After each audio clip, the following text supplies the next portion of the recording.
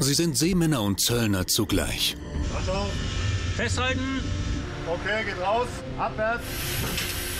Auslösen. Sie retten Leben auf hoher See. Mann über Bord, Mann über Bord, Steuerbordseite. Und sie jagen Schmuggler. Wir müssen davon ausgehen, dass das Schmuggelgut von den Schiffen runtergeschmissen wird. Im Moment überprüfe ich meine Waffe auf Sicherheit und lade sie. Ihr schnellstes Boot ist die Buchhorn. Den holen wir uns jetzt mal, das Motorboot. Die Borkum ist ihr größtes Schiff. Rückerripp. Wir kommen zurück. Sie sind bei Wind und bei Wetter im Einsatz. Was macht er denn da? Was zieht er was raus oder was? Die Männer vom deutschen Wasserzoll.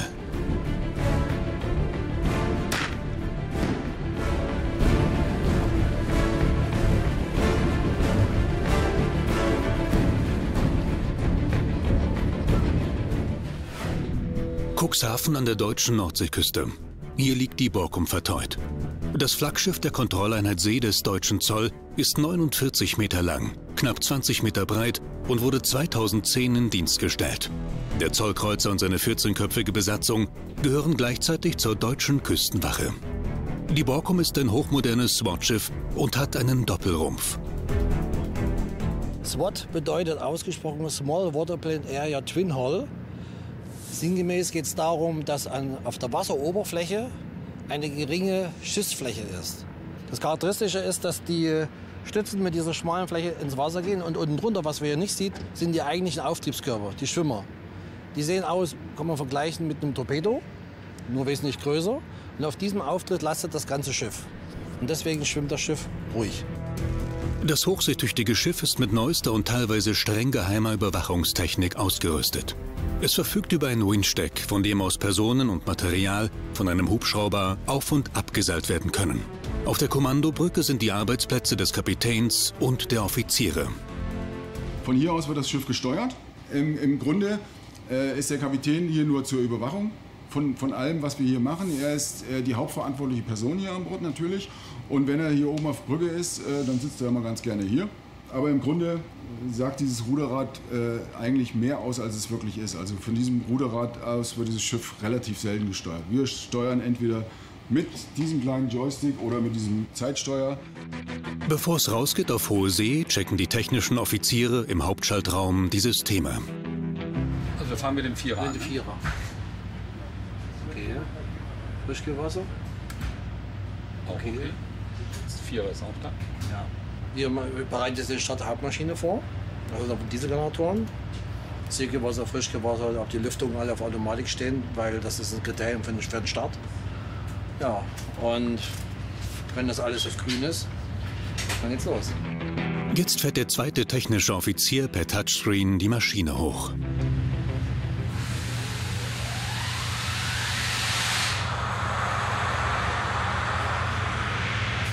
Dieser Motor startet, fährt auf seine Nenndrehzahl hoch, wo äh, Frequenz und Spannungshöhe dem Anschluss angeglichen werden. Und wenn das alles gegenseitig stimmt, wird es gleich knapp.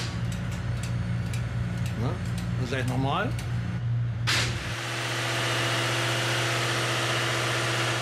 Gut, das war's. Wir sind jetzt auf Eigenbetrieb.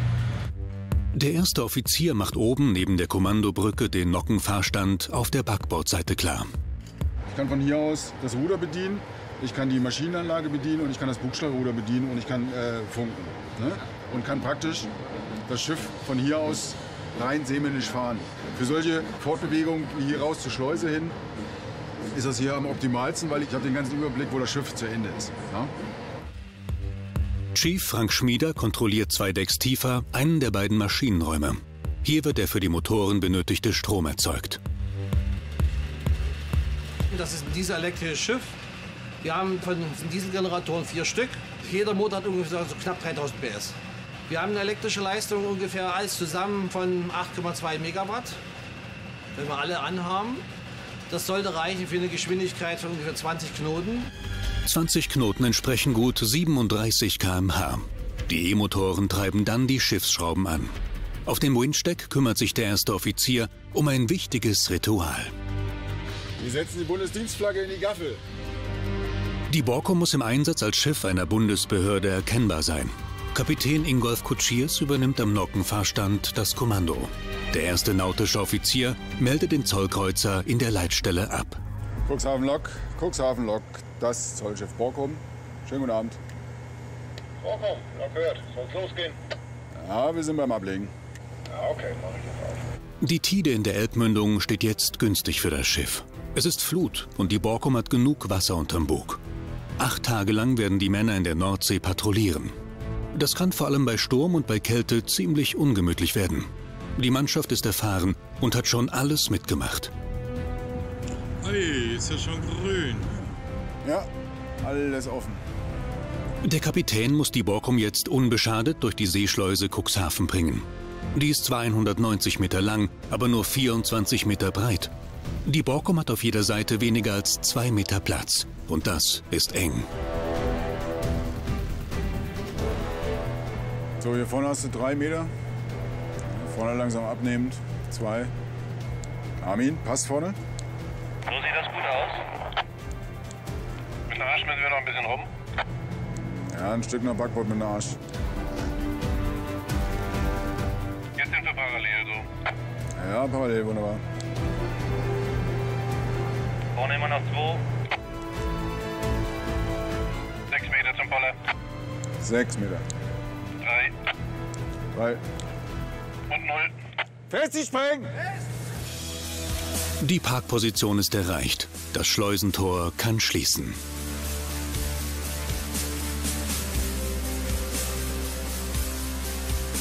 Jetzt wird das Wasser um zwei Meter bis auf Meereshöhe abgesenkt. Das dauert in Echtzeit knapp zehn Minuten.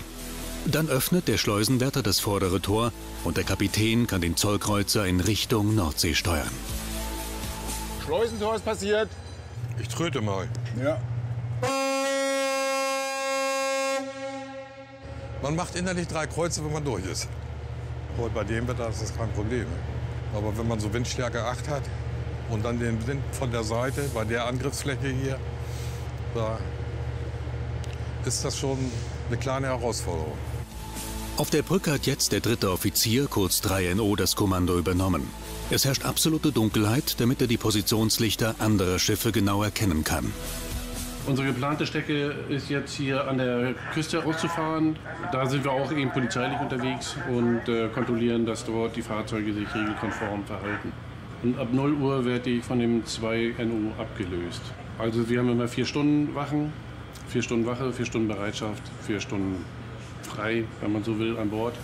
Die erste Nacht verläuft ohne besondere Zwischenfälle.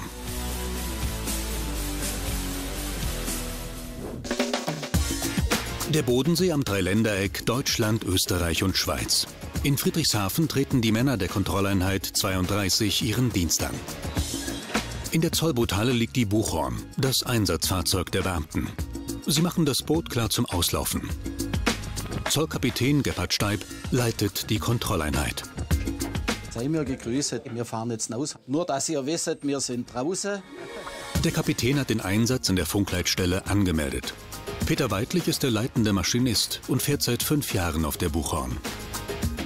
Das sind zwei V8 MAN mit über 1000 PS, beide zusammen, Turbolader.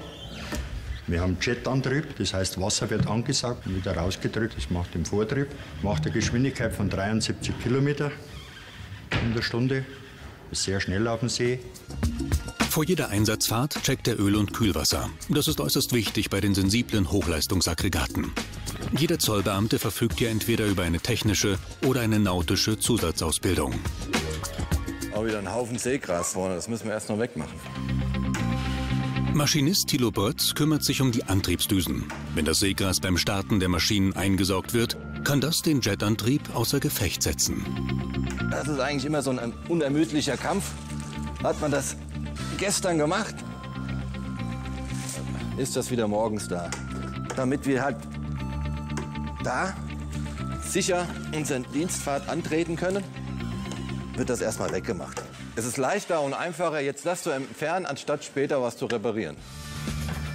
Maschine klar, Die Leinen los, wir legen ab. Die maximale Besatzungsstärke der Buchhorn liegt bei sechs Mann. Laut Dienstvorschrift müssen für die Einsatzbereitschaft mindestens ein Nautiker und ein Techniker an Bord sein. Das Jetboot, Baujahr 1989, war früher auf der Elbe an der innerdeutschen Grenze eingesetzt. Ursprünglich für Fahrten auf ruhigen Flüssen konstruiert, mussten für den neuen Standort Außenhaut und Spanten nachgerüstet werden. Denn durch den Wellengang bei Sturm wirken auf dem Bodensee deutlich höhere Kräfte auf den Rumpf. Zwei bis dreimal in der Woche wird die Buchhorn vollgetankt. Jo, gut. Hier müssen wir jetzt erstmal ablesen, wie viel wir im Tank drin haben. Noch ganz altgebrachte Methode.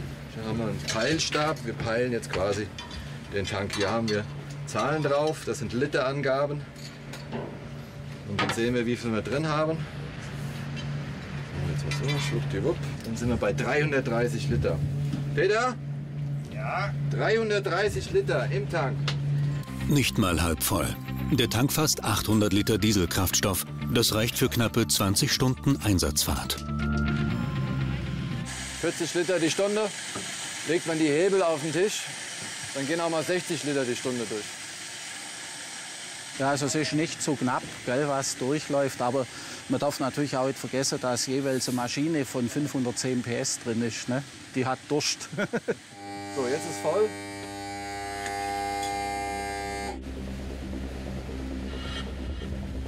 Das 13 Meter lange Zollboot hat nur einen halben Meter Tiefgang und gleitet deshalb mit geringem Widerstand geschmeidig auf der Wasseroberfläche. Das Wasser wird vom Jetantrieb mit einem Druck von 1,5 Tonnen aus den Düsen gepresst. Die Buchhorn ist schnell und wendig und kann in Ufernähe und auch in flachem Wasser operieren. Sie ist das schnellste Boot des deutschen Zoll. Bei Umkehrschub bremst die Buchhorn aus voller Fahrt extrem schnell ab.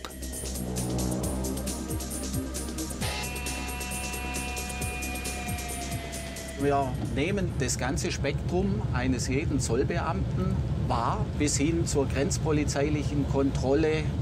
Wo haben wir irgendwelche Trefferquoten? Das ist steuerlich gesehen der zollredliche Besitz von Fahrzeugen. Das heißt, äh, hat eine Person ein Schiff im Ausland gekauft und hat es hier im äh, Gebiet der Gemeinschaft versteuert.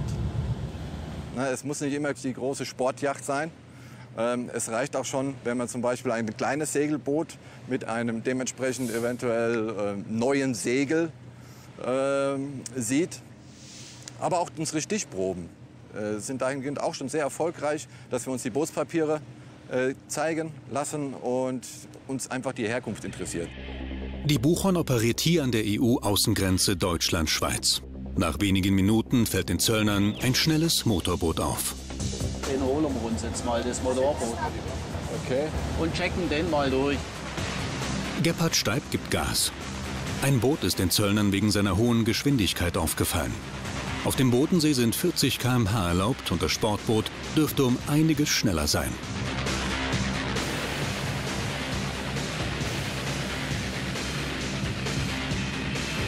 Das Sportboot hat gegen die Buchhorn keine Chance. Nach zwei Minuten haben es die Zöllner gestellt. Ich möchte eigentlich von Ihnen nur wissen, wer der Eigner ist ja? und würde gerne die Papiere vom Boot sehen. Alles klar. Ich reiche mein Netz rüber, da können Sie was reintun. Ja. Dann kontrollieren wir das. Wunderbar. Alles klar. Machen Sie die Maschine aus, wir kommen zu Ihnen dann. Haben wir hoffentlich nicht den Tag versaut. Wissen Sie, normalerweise kostet das über 50 Euro, wenn man angehalten wird. Deshalb bin ich eigentlich jetzt schon. Wie schnell waren wir denn? So. Nicht so schnell, ne? Nein, nein, nein. Also ganz brav und ordentlich. Das denke ich mal. Einfach reinlegen, vielen Dank. Kleiner Moment. Sie sind aus Lindau, oder? Aus Lindau. Ah.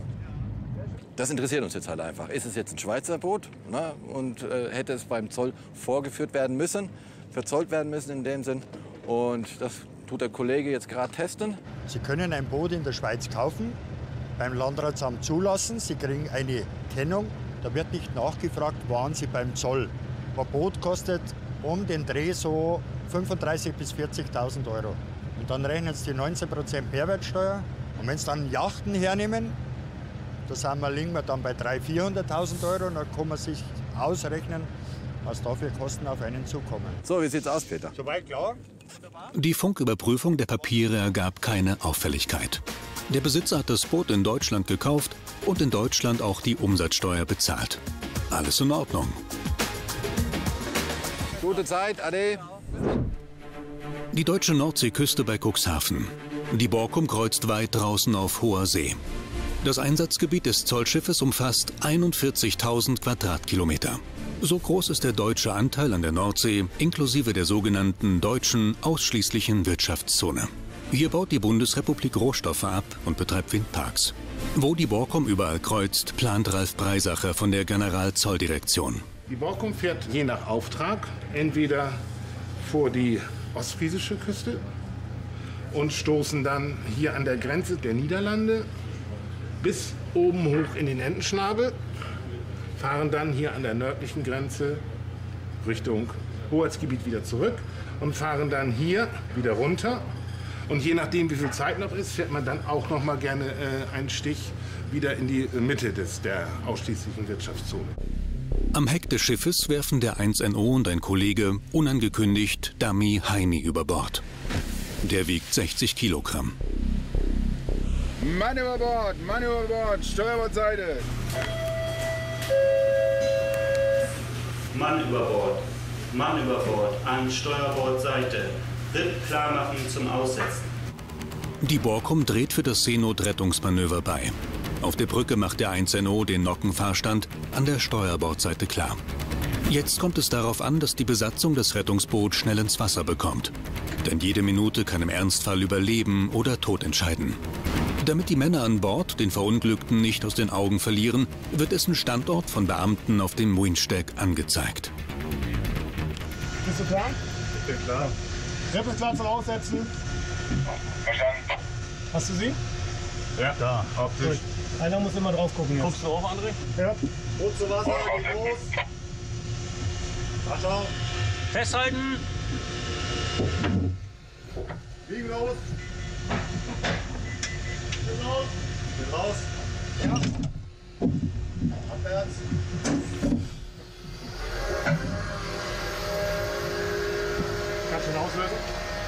Weg.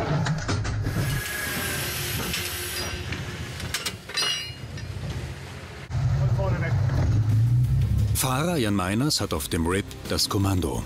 RIP bedeutet Rigid Inflatable Boat. Das ist die englische Bezeichnung für Festrumpfschlauchboot. Das Rettungsteam bereitet für die Aktion das Seenotbergungsnetz vor. Das RIP ist stabil, wendig und fast 80 km/h schnell und ist deshalb auch schnell bei dem Verunglückten. Die an. Also mal links. Ich hab ihn. Ja, hab ich.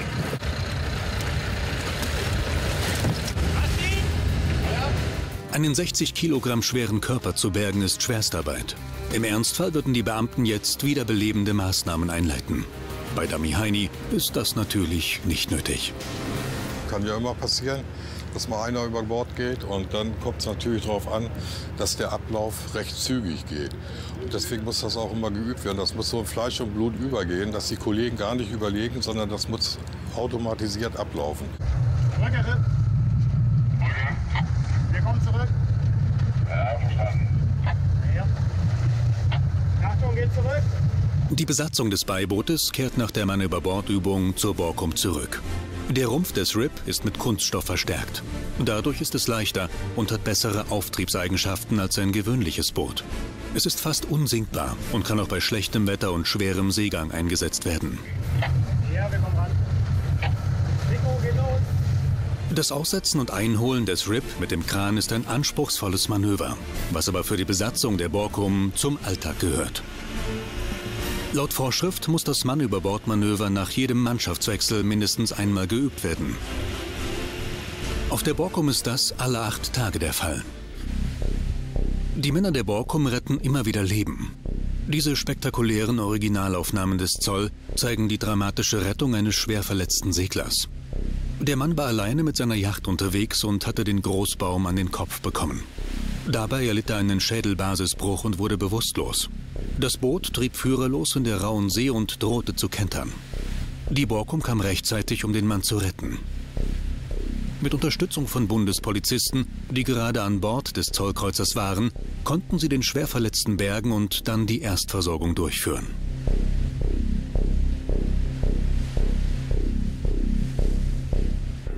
Jedes Schiff auf dem Meer sollte unbedingt Seenotsignale mitführen, um im Notfall auf sich aufmerksam zu machen. Gehörschutz auf!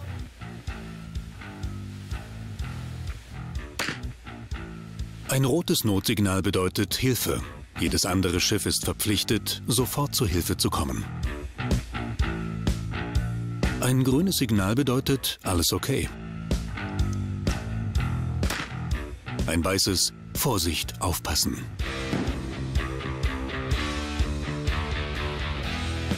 Die Männer der Borkum sind regelmäßig an Seenotrettungsaktionen beteiligt.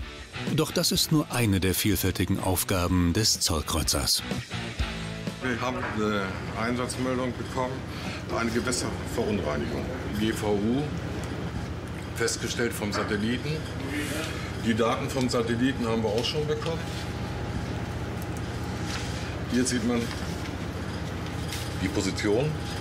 Verschmutzung soll 10,4 Kilometer lang sein und 0,42 Kilometer breit. Jetzt laufen wir die Position an. Knapp zwei Stunden benötigt der Zollkreuzer ab jetzt zum Einsatzgebiet. Die Borkum bekämpft den Drogen- und Waffenschmuggel. Zugleich ist sie als deutsche Küstenwache unter anderem als Schifffahrtspolizei und zur Grenzsicherung im Einsatz. Außerdem ist sie für die Fischereikontrolle und den Umweltschutz zuständig. Kapitän? Wir sind jetzt an der Position. Wir haben so ein bisschen Streifenbildung da drüben. Da so ein bisschen rüber. Ja, halt mal rein.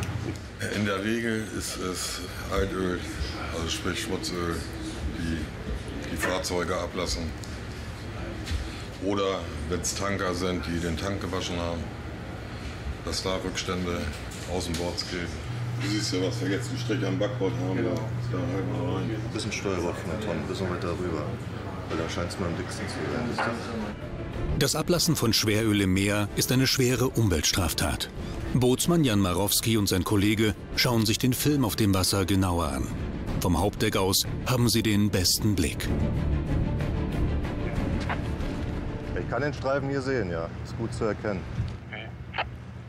War das eine Sattaufklärung? Ja, eine Seitaufklärung. Ja, jetzt müssten wir gleich drüber sein, richtig? Zur Steuerbord sind wir drin, ne? Ja, richtig. Aber jetzt ist mit dem Auge so ist kein Teppich zu erkennen. Ich, ja, wie sieht es denn von oben aus? Also wir sind jetzt mit Steuerbordseite faktisch drinne. Ja, wenn ich weiter weg gucke, kann ich den Streifen auch sehen. Aber wenn wir jetzt direkt runter gucken, ist kein Ölfilm zu erkennen. Riechen kannst du auch nicht, ne? Nein, auch kein Geruch negativ. Ich würde das als eigen deklarieren hier. Gut, dann brechen wir hier ab. Sieht ganz danach aus, als ob das äh, Algenteppich wäre. Ne? Das sind so Schwebstoffe. Wenn die Sonne so schräg ins Wasser scheint, dann kann man diese Schwebstoffe sehen. Die verändern halt die Oberflächenstruktur. Das kann der Satellit nicht unbedingt erkennen. Der sieht halt nur diesen Teppich. Deswegen fahren wir dann vor Ort und erkunden, was es nun wirklich ist. In dem Fall kein Öl. Wegen der Erwärmung der Nordsee durch den Klimawandel bilden sich immer häufiger riesige Algenteppiche. Durch die strenge Überwachung hat sich die Anzahl der Umweltstraftaten aber drastisch reduziert. Trotzdem muss die Borkum jedem Verdacht nachgehen. Zurück am Bodensee. Hier ist die Besatzung der Kontrolleinheit 32 mit ihrem Jetboot im Einsatz.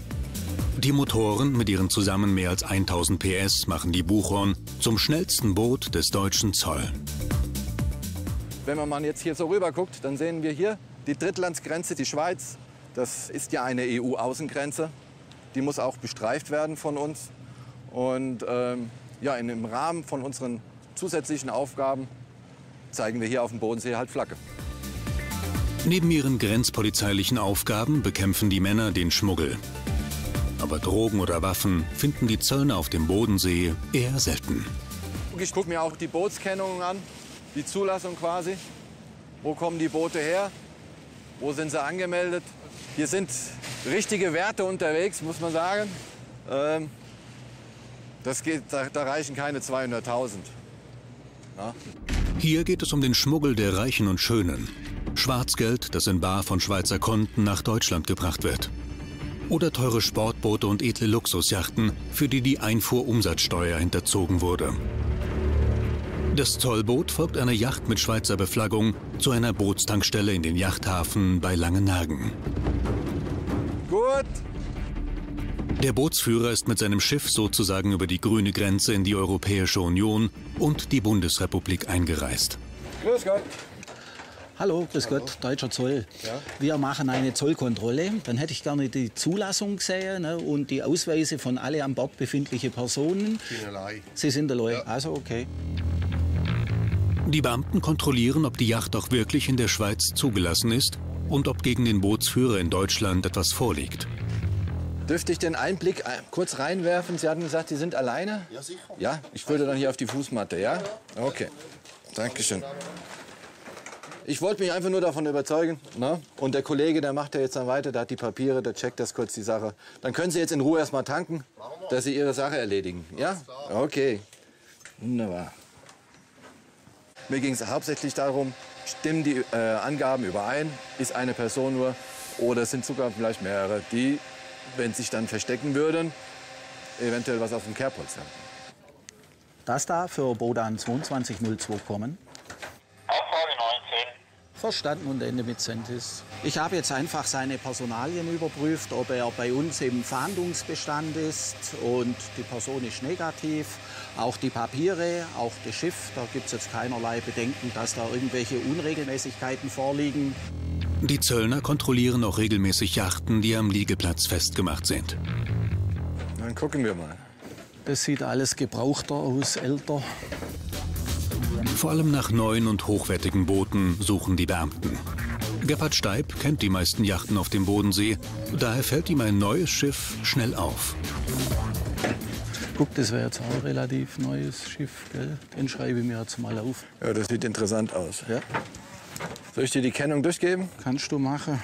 5-3. 5-3. Richtig. Okay, danke. Das ist ein relativ neuwertiges Boot. Ne? Das sieht ja aus wie frisch aus dem Laden gezogen. Stellt mit Sicherheit auch einen horrenden Wert dar. Ne? Das bekommen Sie nicht zum Preis vom PKW. Leider ist jetzt niemand an Bord, sonst hätte ich jetzt versucht, direkt über den Eigner Erkenntnisse zu gewinnen, wo das Boot gekauft wurde. Ne? Und wir checken das jetzt über den Eigner. Der muss uns jetzt entsprechende Unterlagen vorlegen und uns erklären, dass dieses Boot versteuert ist. Bei einem Kaufpreis von einer Viertelmillion beträgt die Umsatzsteuer rund 40.000 Euro. Bei solchen Summen kommt manch einer in Versuchung. Doch der Zoll ist wachsam.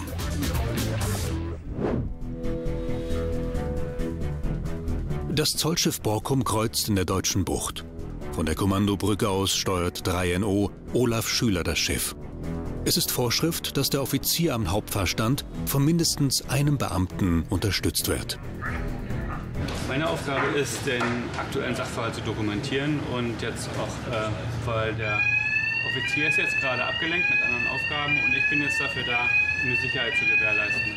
Einer der vier Elektromotoren hat Alarm ausgelöst. Das Kontrollsystem zeigt einen Druckabfall im Seewasserkühlsystem an. Der Motor muss abgeschaltet werden, damit er nicht überhitzt. Chief Frank Schmieder ist als leitender technischer Offizier dafür verantwortlich, dass das Problem sofort behoben wird. Mit zwei Technikern steigt er in den untersten Bereich des Schiffrumpfes hinab.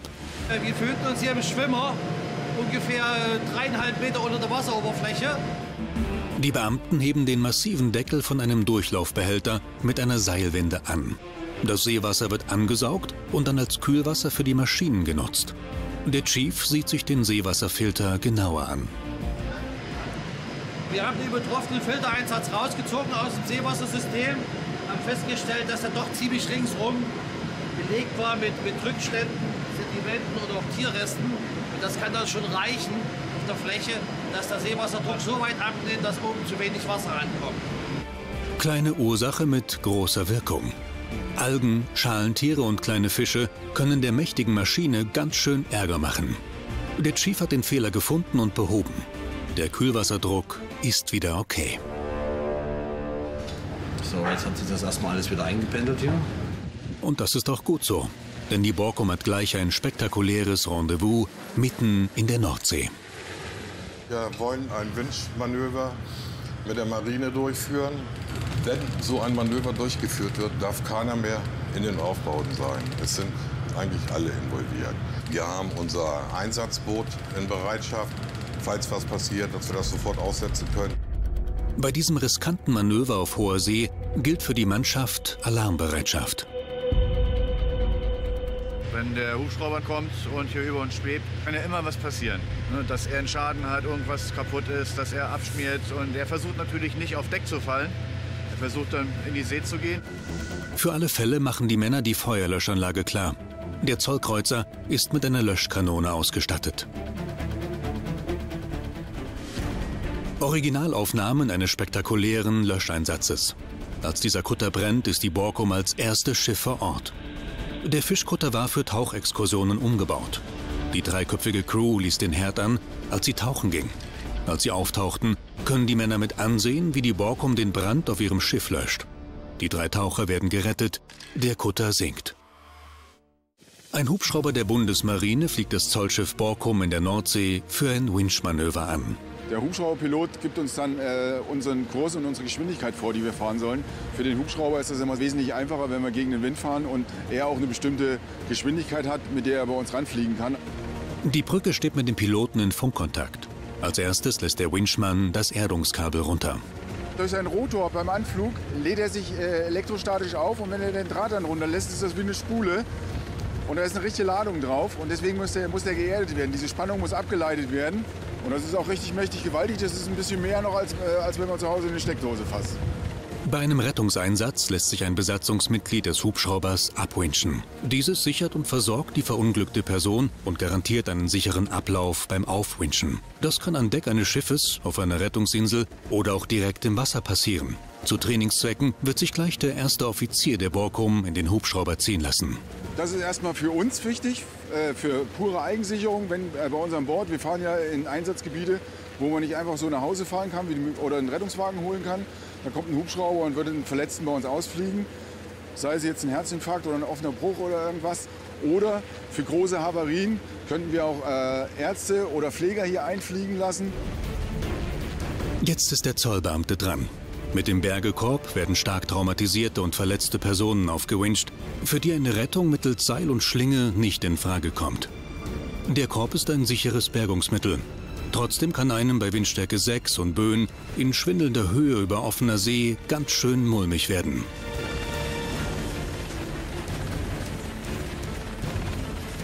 Die Sea King Marine Hubschrauber werden hauptsächlich für Such- und Rettungsmissionen eingesetzt, operieren aber auch als Transporthubschrauber und setzen Spezialkräfte der Bundeswehr in Krisenregionen ab. Der Sea King verfügt über zwei insgesamt 3000 PS starke Turbinen, erreicht eine Höchstgeschwindigkeit von 252 km/h und ist mit einem schweren Maschinengewehr bestückt. An Bord des Hubschraubers hat während der Operation der Winchmann über Bordfunk das Kommando. Der Pilot im Cockpit muss sich blind auf seine Anweisungen verlassen können, da er die Einsatzstelle unter dem Hubschrauber nicht sieht.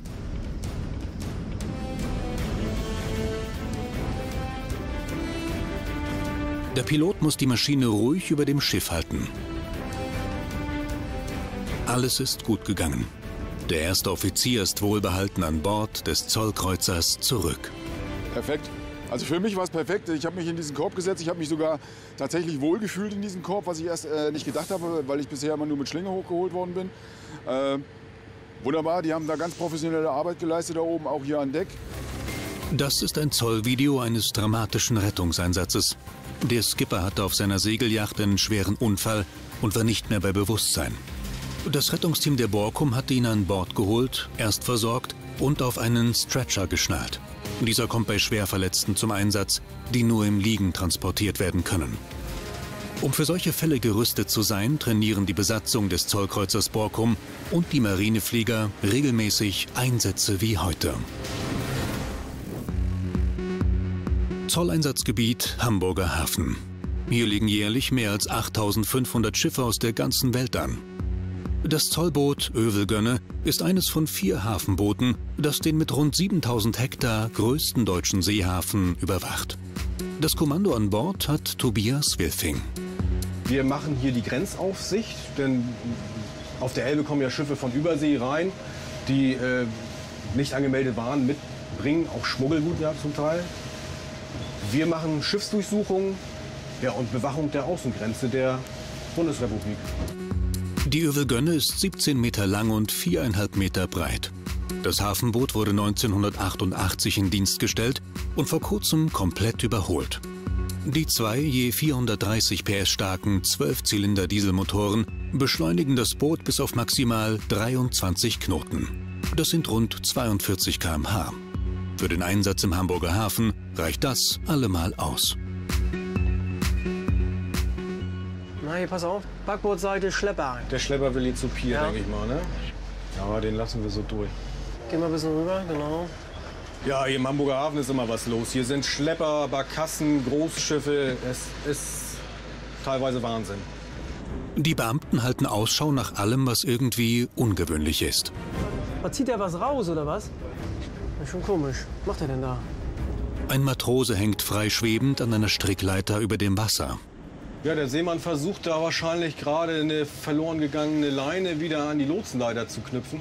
Der Lotse geht da jetzt ran. Unverdächtig also. Die Männer setzen ihre Streifenfahrt fort. Als nächstes nehmen sie einen Containerriesen ins Visier.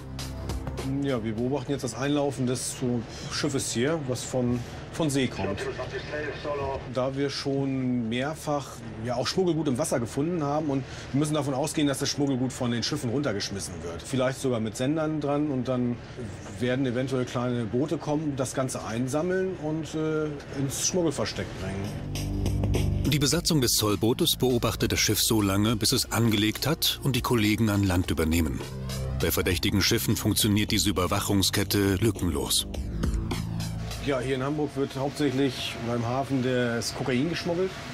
Äh, Das kommt mit den Schiffen aus Übersee, aus Südamerika. Heroin kommt ja eher aus, aus dem Nahen Osten.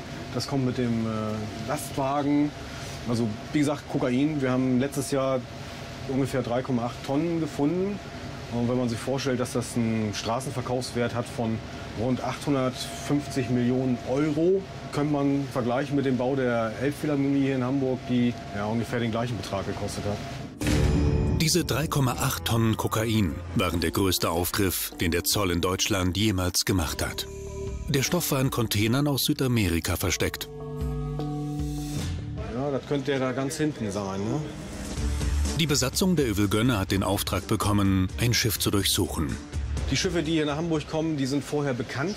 Auch ihr Fahrtgebiet ist vorher bekannt. Und dieses Schiff, wo wir rauf wollen, das kommt aus Richtung Südamerika, was für uns natürlich eine Schmuggelvermutung rechtfertigt. Ne? Das Zollboot hat zwölf Mann Besatzung an Bord. Zwei Beamte bleiben als Wache zurück, die anderen zehn werden jetzt das Containerschiff durchsuchen. Der Ozeanriese läuft unter asiatischer Flagge. Er ist 210 Meter lang, 30 Meter breit und kann Container mit einem Gewicht von insgesamt 35.000 Tonnen transportieren. Für das Kontrollteam eine Herausforderung. Naja, die Schwierigkeit ist die, die schiere Größe, die das hat. Ne? ist ja wie eine große Industrieanlage. Hier gibt es ja tausend Möglichkeiten, irgendwo was zu verstecken. Wir, wir können nicht alles angucken. Aber wir versuchen gezielt vorzugehen und uns daran zu orientieren, wo wir beim letzten Mal was gefunden haben. Die Zöllner versammeln sich zur Einsatzbesprechung im Ships Office. Ja, so einmal zur Einteilung. Udo, du gehst mit deiner Truppe in den Maschinenraum. Andreas, du gehst zum Vorschiff, einmal äh, Bosens Store und was du da alles findest. Und wir gehen hoch auf die Brücke und machen dann außen am Aufbau. Tobias Wilfing und Mirko Albrecht nehmen sich als erstes die Kommandobrücke vor. Weil das Schiff am Kai liegt und entladen wird, ist die Brücke unbesetzt. Die Beamten können sich in aller Ruhe umsehen. Wir suchen jetzt hier nach Zigaretten und alles, was hier so zu finden ist. Drogen natürlich. Und die können uns überall begegnen. In rauen Mengen bis in den Tonnenbereich oder auch in kleinen Mengen im Kilobereich. Das interessiert uns alles. Hier haben wir noch ein Schränkchen. Alle Signalflaggen, die das Schiff so braucht. Gut, dann schlage ich vor, dann gehen wir außen äh, runter, einmal zu den Rettungsbooten. Der Zoll im Hamburger Hafen durchsucht zehn Schiffe am Tag. Die Schmuggler bevorzugen Verstecke, die leicht zugänglich sind, in denen die Drogen aber trotzdem nicht auf den ersten Blick entdeckt werden. Äh, Willi, du sicherst mich, ich gehe rein. Dieses Rettungsboot soll das Überleben der Mannschaft sichern, falls das Schiff sinkt. Mirko Albrecht untersucht die Stauräume mit dem Endoskop. Jetzt kann man hier schön sehen, kann man einmal rumgehen, was sich innen drin befindet. Getränke, Behältnisse, beziehungsweise kann die Wände einmal komplett ableuchten. Ist natürlich auch ein gutes Versteck, um da WDM, äh, Alkohol oder Zigaretten zu verstecken. Das Rettungsboot ist sauber. Die Zollbeamten machen sich jetzt auf den Weg in den Maschinenraum. Dort sind bereits andere Kollegen zugange. Die gewaltige Antriebsanlage des Containerschiffs ist mehrere Stockwerke groß. Für die Beamten ist es die Suche nach der berühmten Nadel im Heuhaufen. Wir können wieder hoch? Nach zweieinhalb Stunden ist die Schiffsdurchsuchung beendet. Die Aktion verläuft ohne Aufgriff. Ist natürlich nicht einfach, äh, aber äh, trotzdem äh, hat man ja auch seine Erfolge und davon zehrt man auch ein bisschen und motiviert sich dann jedes Mal wieder ähm, aufs Neue, dass man da wirklich mit Elan und Engagement rangeht.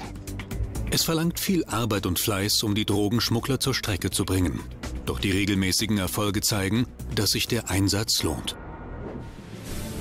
Zurück auf dem Zollkreuzer Borkum in der Nordsee. Auf der Kommandobrücke hat der erste Offizier die Wache.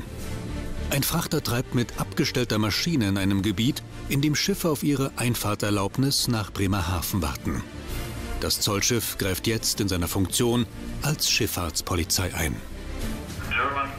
Deutsche Küstenwache, ich höre. Uh, yes, good evening, sir. Äh, Ich wollte Sie fragen, was Sie hier machen. Warten Sie auf den Lotsen? Uh, you're waiting for the pilot here, right? Ja, ich warte hier auf Informationen vom Lotsen. Es ist alles bereit. In fünf Minuten geht es weiter.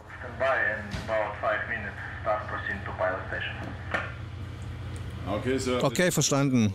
Danke. Good watch. Okay, thank you very much. Das ist ein Containerschiff von jetzt hier nicht vor Anker liegt, wie es eigentlich erst sollte. Äh, der hat sich das Ankermanöver gespart und äh, wartet jetzt hier auf den, auf den Lotsen, einfach nur treibend. Jetzt schmeißt er gerade seine Maschine an und läuft die, die Lotsenposition an. Und der wird jetzt direkt nach Bremerhaven fahren. Der Frachter muss in diesem Gebiet entweder ankern oder weiterfahren. Daran hat ihn das Zollschiff freundlich erinnert. Auf ihrem Monitor können die Offiziere alle wichtigen Informationen über Schiffe abrufen. Alle diese Dreiecke, das sind, das sind alles Fahrzeuge. Über dieses sogenannte Automatic Information System kann ich die einklicken. Und das Fahrzeug, was wir eben hatten, das war die mit Heimathafen Monrovia. Die entsprechenden Informationen, die kann ich hier ablesen. Der Name des Schiffes, die Destination, dort wo er hin möchte, wann er dort da sein möchte. Ist es ein normales Cargoschiff, heißt er fährt normale Ladung, in diesem Fall Container. Und darüber, über dieses AIS-System, kann ich ihn sehr gut identifizieren und eben auch ziemlich gut ansprechen. Nach vier Stunden Wache ist die Schicht des 1NO beendet. Der dritte Offizier kommt zur Ablösung. Olaf Schüler steuert die Borkum zwischen den ankernden Schiffen hindurch. Kontrollfahrt. Wir fahren jetzt einfach nur mal durch und gucken nur mal, ob äh, welche Fahrzeuge augenfällig sind, äh, dass irgendwas über Bord gegeben wird oder irgendwas hängt über Bord. Die Schiffe liegen hier im Strom und dann äh, kann man einfach hinter den Schiffen langfahren, wenn jetzt wirklich was über Bord gegeben werden sollte. Und dann kann man das genau zuordnen, welches Fahrzeug äh, was übergeben würde. Ne? Das checken wir einfach ab. International agierende Schmugglerbanden werfen Drogen oder anderes Schmuggelgut mit Auftriebskörpern und GPS-Sendern ausgestattet über Bord. Die Komplizen fischen die Ware dann aus dem Wasser. Doch manchmal geht das schief. Und so findet der Zoll immer wieder große Mengen Drogen, die herrenlos irgendwo angeschwemmt werden. So wie in der Elbmündung 15 dieser Taschen mit insgesamt 300 Kilogramm Kokain. Auf einem russischen Fischkutter hat der Zoll sieben Millionen Zigaretten in diesen weißen Paketen sichergestellt. Die Mannschaft war gerade dabei, die Kartons wasserdicht zu verpacken. Damit die Komplizen die Pakete später im Wasser finden, sollten sie mit diesen Selbstbaubojen markiert werden. Die Borkum hat zur Bekämpfung des Drogen- und Waffenschmuggels speziell eine eigene Abteilung auf der Kommandobrücke.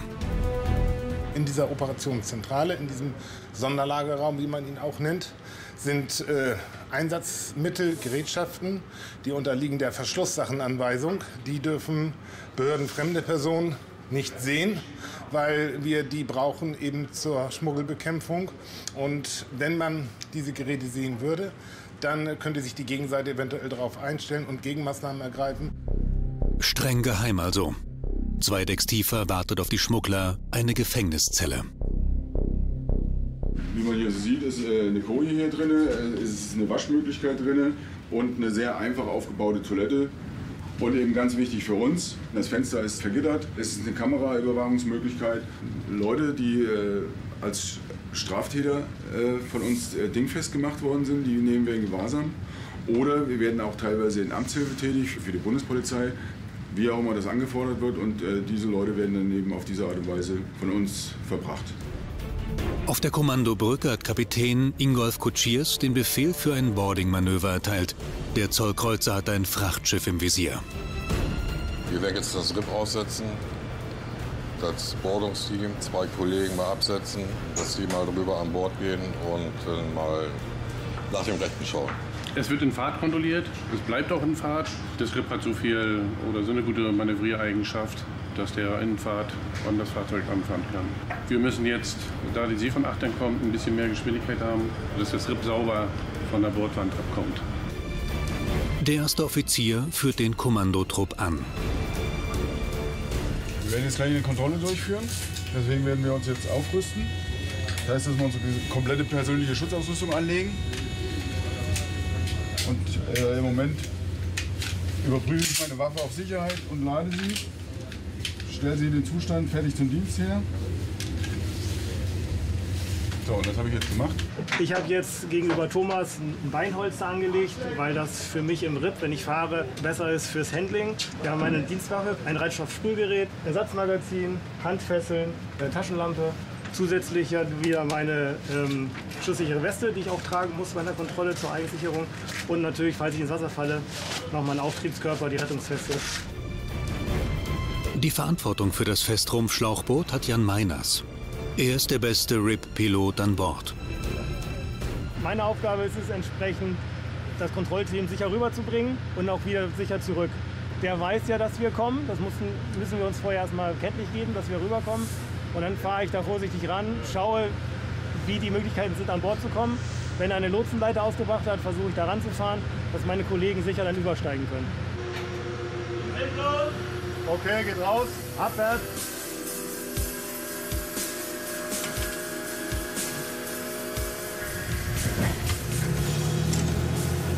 Der Zoll hat hier draußen in der deutschen ausschließlichen Wirtschaftszone weniger Befugnisse als im deutschen Hoheitsgebiet innerhalb der 12-Meilen-Zone. Die Kontrolle von verbrauchsteuerpflichtigen Waren, wie zum Beispiel Alkohol und Kaffee, wird in den Häfen durchgeführt, da ein Schiff angelegt haben muss, damit es steuerpflichtig ist. Auf offener See können die Beamten nur dann operieren, wenn es um den Verdacht auf Drogen- oder Waffenschmuggel oder andere schwere Straftaten geht. Jan Meiners hält das RIP in voller Fahrt auf gleicher Höhe neben dem Frachter. Das Boarding-Team kann übersetzen.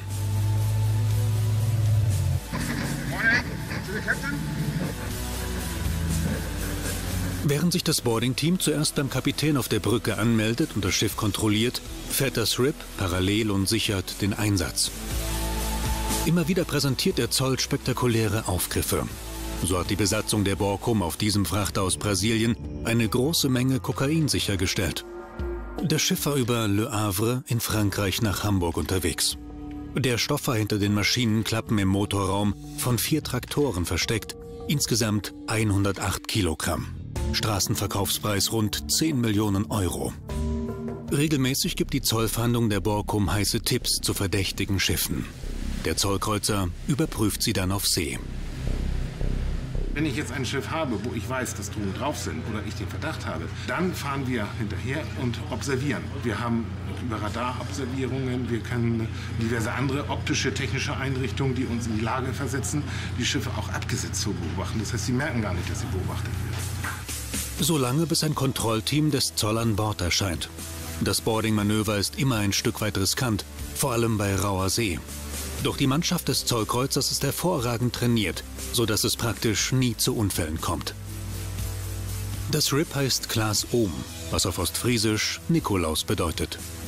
Denn der heilige Nikolaus von Myra wird seit Jahrhunderten von Seeleuten als Schutzpatron verehrt. Alles gut gelaufen, sauberes Manöver, Kontrolle OB, wie wir sagen, ohne Befund. Alle wieder zurück und jetzt können wir zurückrüsten.